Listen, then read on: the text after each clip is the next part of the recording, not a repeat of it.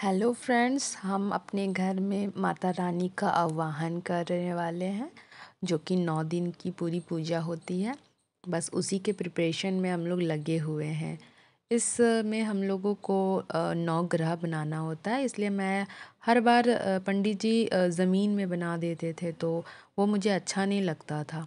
इसलिए इस बार मैंने थर्माकोल को कट करके और पंडित जी से कहा कि आप इसी में बनाइए, ताकि यू नो साफ़ सफ़ाई करने में भी एक अच्छा होता है, क्योंकि ज़मीन पे रहने पर बहुत तरह के धूल धक्कड़ डस्ट पड़ जाते हैं तो वो अच्छा नहीं लगता मुझे। इसलिए मैं पंडित जी को बोल करके इसमें बनवाई।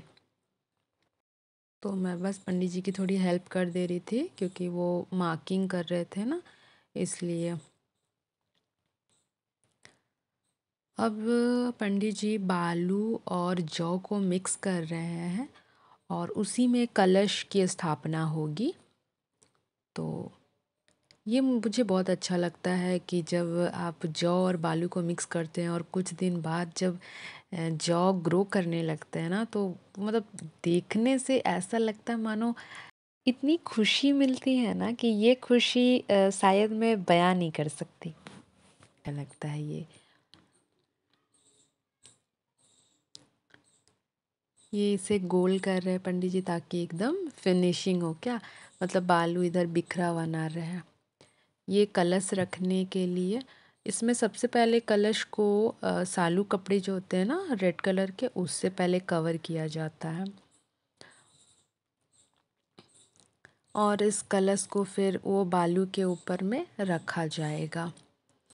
और इसमें पानी फिल किया जाएगा ताकि जो नौ दिन तक जो बालू है ना, वो उस पानी को सोखे और जौ ग्रो करे। फ्रेंड्स लगता है ऐसे जैसे माँ मतलब सचमुच का मतलब ऐसा फील होने लगता है कि घर में कोई है। और जब जब नौमी और दसवीं जब हो जाती है ना तो नौमी को ही तो इनका जो आसन होता है वो हिला दिया जाता है।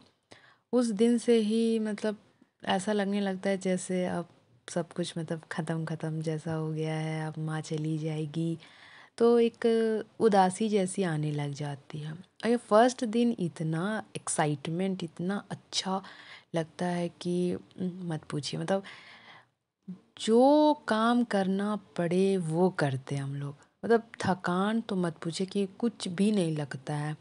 बस लगता है कि सब कुछ अच्छे से हो जाए इससे एक दिन पहले पूरे घर को मैंने साफ़ किया मम्मा और मैं मिल के। मम्मा ने किचन को पूरा साफ़ किया और फिर मैं पूजा रूम पूरा क्लीन की। मतलब बहुत ज़्यादा काम हो गया और फिर मेरी और मेरी सिस्टर है उसका बर्थडे भी था तो उधर भी थोड़ा हम लोगों को इंगेज होना पड़ा। लेकिन फिर भी मैंने पूजा रूम अच्छे से क्लीन कर लिया साफ़ कर लिया। और अब देखिए कितना अच्छा लग रहा है यू you नो know, मतलब एक पॉजिटिविटी तो खैर आ ही जाती है साफ़ सफ़ाई करने से भी। और स्पेशली जब पूजा हो तो फिर क्या कहना, वो तो फिर एक अलग ही बात होती है ना कि आप किसी को घर में बुला रहे हैं और अगर आप उनका आदर सत्कार नहीं करेंगे तो ये अच्छी बात नहीं है। इसलिए भी मैंने पूरे घर को अच्छे से क्लीन कर दिया और पूजा की जितनी भी सामग्री थी वो पापा एक दिन पहले ही ले आए थे और फल, फूल जो होता है वो तो सेम डे ही आता है। और पंडित जी ने इसके जो ढक्कन होती है ना, उसमें चावल रखा और उसके ऊपर फिर जला जो होता है ना, जटाधारी नारियल, उसे कवर करके सालू कपड़े से और फिर उसे, उसके ऊपर में बैठा दिया। तो ये हमारा कलश की जो स्थापना, जिसे बोलते हैं ना, कलश स्थापना, वो कंप्लीट हो चुका है। अब पंडित जी अष्ट दल कमल बना रहे हैं, क्योंकि जब भी अगर आप अखंड दिया प्रज्वलित करने का संकल्प लेते हैं तो उसके लिए आपको अष्टदल कमल बनाना बहुत ज़रूरी है, क्योंकि दीपक जो आपका है, वो उसी में ही बैठाया जाएगा। तो सबसे पहले इसके लिए एक आकृति दे दें आउटलाइन जिसे कह सकते हैं। वो देने के बाद उसमें कलरफुल चावल को भरना है। और ये हम अष्ट दल कमल हमारा तैयार हो जाएगा। आप फ्रेंड्स आप देख रहे होंगे पीछे भी आ, कुछ दिख रहा है आपको गेहूँ तो उसमें आ, माता आ, के जो सोलह रूप होते हैं ना उन उन उन्हें बनाया गया है उसमें। माफ़ कीजिएगा मैं वो आपको नहीं दिखा पाई लेकिन वो कॉर्नर पे वो सोलह घर बने हैं। जो नौ ग्रह के लिए आठ नौ घर नौ घर बनाए थे उसमें सोलह घर बनाया और उसमें गेहूँ रखाया। अभी सब जितना भी काम हो रहा है वो चावल का हो रहा है, कलरफुल चावल का। लेकिन जो सोलह देवी जो बनी है, वो गेहूँ से बनी है।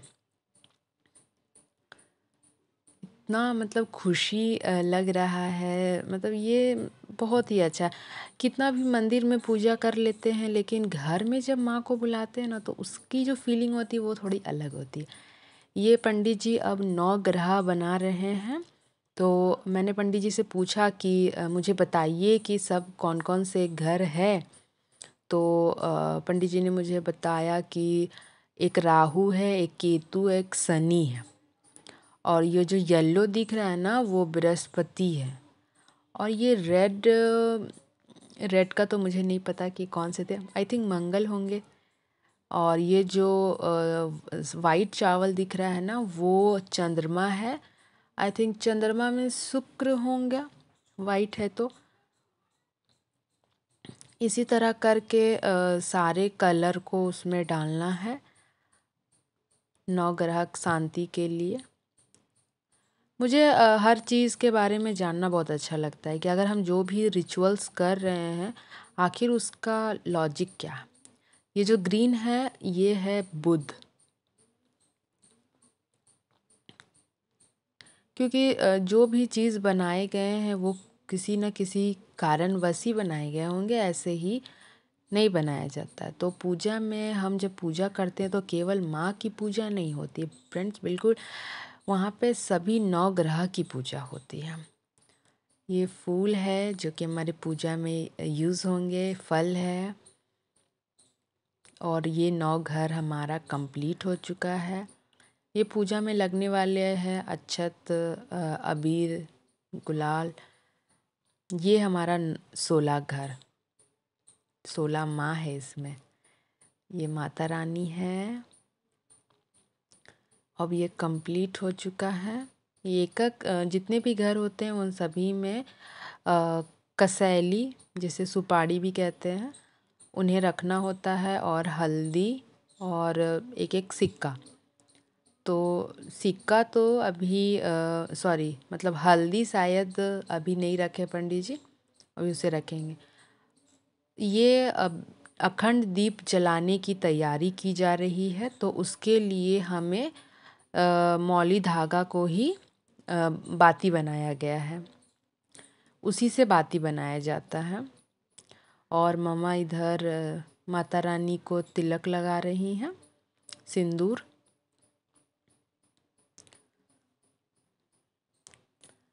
पंडित जी बस वो बा, बाती बनाने की तैयारी कर रहे हैं वो बस हो जाए तो फिर हम अपना अखंड दिया को भी प्रज्वलित करेंगे।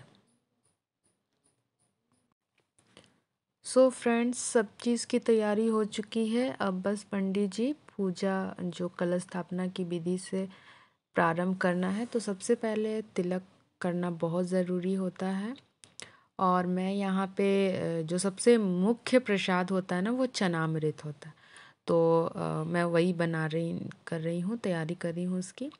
और रक्षा सूत्र है जो सबको पूजा करने से पहले सबको बाँध देना चाहिए। तो पंडित जी, सभी को बाँध रहे हैं। धीरे से मेरी टर्न भी आने वाली है अब।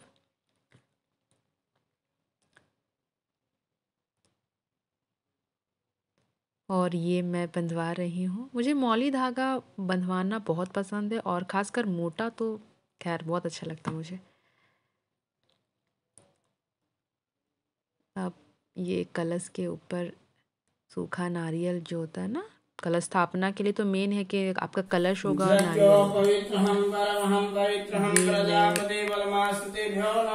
माला। पे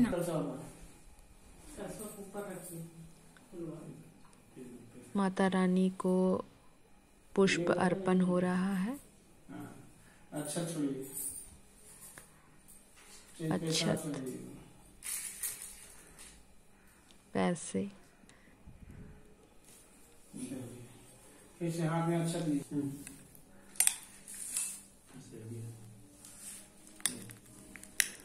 टीका लीजिए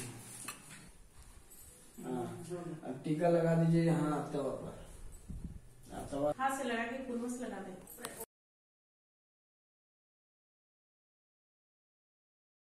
हमारी पूजा की जो सबसे मेन जो अखंड दीप प्रज्वलित का जो संकल्प होता है वो बस प्रारंभ होने वाला है। हमारे पापा दीप प्रज्वलित कर रहे हैं और ये दीप कंटिन्यू नाइन डेज़ तक जलेगा।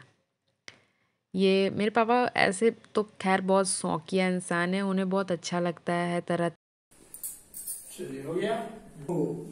न कार्य सिद्धि तावत। दीपो। रक्षा। करह भवंतो हो। फिर से जल गिरा दीजिए।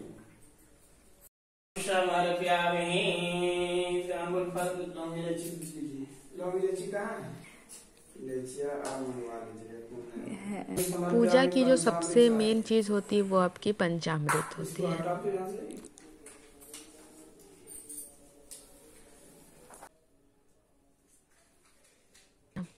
ये पंडित जी ताम्र फूलम जो होता है ना, माता रानी को जो प्रसाद चढ़ता है, वो इलायची, लौंग और पान का पत्ता चढ़ता है। तो वो एक एक करके सभी पान के पत्ते को कट करते हैं और उसमें लौंग को पिन करते हैं।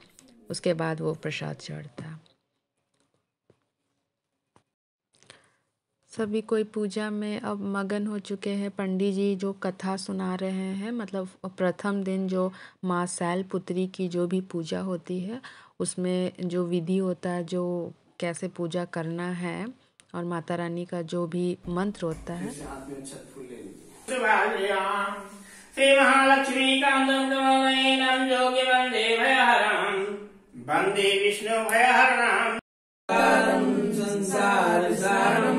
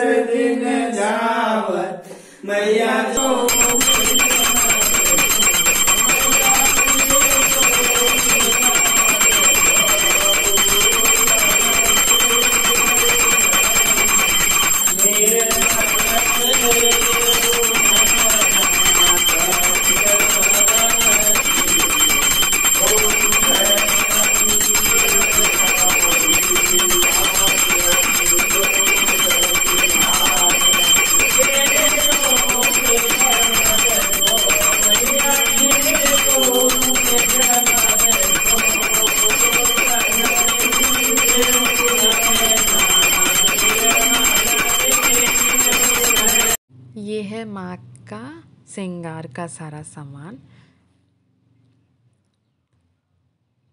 ये दीप जब प्रज्वलित हो रहा है ना, उसके बाद का जो व्यू होता है वो बहुत अच्छा लगता है। वही मैं बस उसके सामने जाके मैं बैठी हुई रहती हूँ और उसे देखती रहती हूँ। ये जो लाइट निकल रहा है ना, ये बहुत पॉजिटिव लाइट है।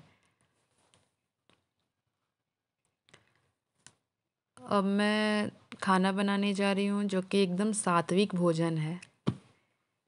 मैं फिर से दीप के पास आके बैठ गई। थोड़े थोड़े देर के बाद मैं आके यहीं पे माता रानी के पास बैठी हुई रहती हूँ। ये मेरे फ्रंट दरवाज़े का जो लुक था, वो था। माता रानी को निहारती रहूँ, बस मेरा यही काम है।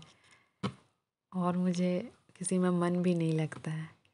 ये शाम का मम्मी आरती की तैयारी कर रही है। मम्मी ने अभी नहा करके वो पूजा में बैठ गई हैं।